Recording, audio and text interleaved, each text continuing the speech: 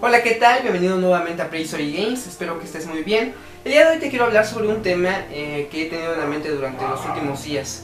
Mm, quiero primero mencionar esto, no sé si nosotros o nuestra generación éramos muy buenos jugadores, o éramos demasiado intuitivos, o simplemente teníamos la iniciativa por descubrir grandes cosas en estos juegos, buscar ya sea eh, cosas secretas, o no sé, tener esa habilidad de investigador eh, jueguil.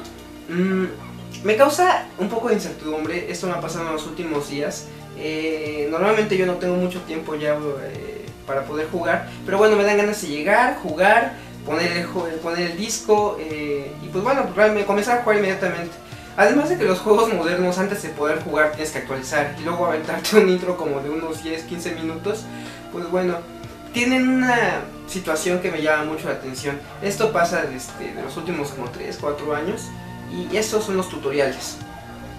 Me imagino que por tu mente ahorita ya están pasando algunos juegos que antes de poder comenzar con la aventura principal tienen tutoriales. Eso no es malo. No digo que los tutoriales sean malos en los videojuegos, normalmente cuando los juegos son muy complejos. Pero hay ciertas características en estos tutoriales que bueno, me causan un poco de... No alegría, sino me causan no sé, un poquito de, burla por ahí, algo así. Me, me da gracia, me causa gracia. Mm, y esto hacen algunas cuestiones que me parecen demasiado simples. Por ejemplo, hay juegos que te dicen, mueve tu personaje a la izquierda utilizando el joypad. Y se mueve tu personaje hacia cierta dirección. Y dice, felicidades, lo has hecho. O great, cosas así. O presiona el botón A para brincar. Tu personaje da ese pequeño salto. Great, y así pasa con este tipo de situaciones, no solamente en juegos de primera persona o juegos de plataformas y demás, o sea, como que es algo que se ha estado implementando mucho. Entonces la cuestión es aquí, ¿qué es lo que pasa? ¿Es tan necesario que, que existan estos tutoriales? Esto en algún momento los jugadores lo demandaron para poderse Em, disfrutar completamente el juego o realmente es algo que la propia industria está tratando de plasmar dependiendo de la generación actual. Esto me causa un poco de incertidumbre. Pues bueno, este tema eh, voy a cerrarlo aquí y a continuación quiero mostrar lo que para nosotros, nuestra generación, para ti, era un tutorial. Existen muchos ejemplos en las generaciones pasadas de lo que yo llamo un tutorial intuitivo. Mega Man es un gran ejemplo. Este primer enemigo en forma de rueda nos enseña a brincar. Este segundo enemigo nos obliga a utilizar el comando disparar y además nos refuerza el comando anterior de brincar.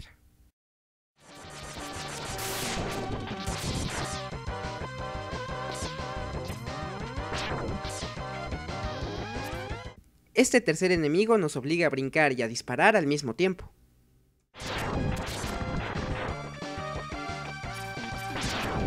Una vez que hemos aprendido a trasladarnos, a brincar, a disparar y hemos adquirido la agilidad para poder proceder en el transcurso del juego, se nos obliga a utilizar esas acciones destruyendo algunos enemigos. Momentos después de que ya tenemos completo control sobre nuestro personaje, nos muestra un aspecto que nunca habíamos visto, sobre todo para todos nosotros que hemos seguido la saga desde el primer Mega Man. Así que se nos deja en una encrucijada, obligándonos a utilizar nuestra intuición y buscar una forma de salir. Y para terminar con este tutorial, se nos ofrecen un par de ítems y se muestra su utilidad. Y eso es todo. Estás listo para emprender tu aventura. Estos son los tutoriales retro.